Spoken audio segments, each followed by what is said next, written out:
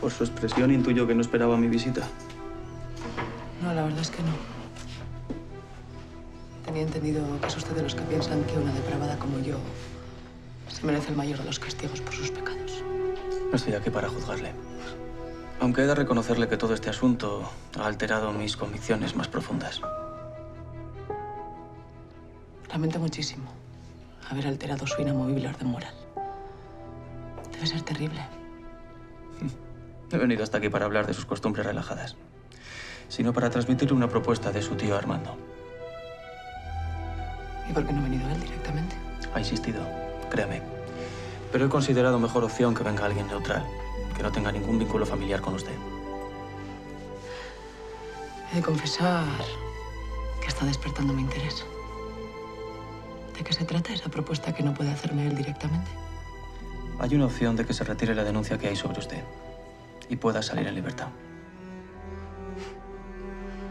Chapo, tío Armando. Ese hombre es capaz de ponerse al mundo por montera con tal de salirse con la suya. No, Maite, no. No cante victoria tan rápido. Su libertad tiene un precio. O mejor dicho, unas condiciones que deberá cumplir para que se produzca. ¿Qué condiciones? La primera es que coja el primer tren que salga hacia París. No se preocupe.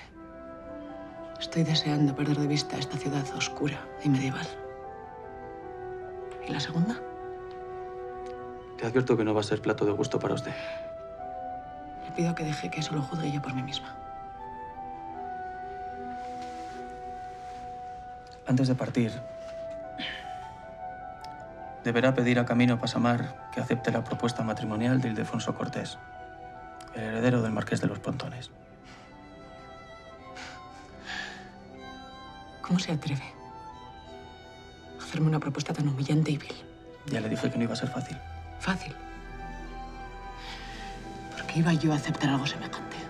Por interés. O por supervivencia. Puede llamarlo como quiera. Pero si Camino Pasamar rechaza al heredero del Marqués de los Pontones, perdería una ocasión única de rehacer su vida. Y usted acabará pudriéndose aquí en la cárcel.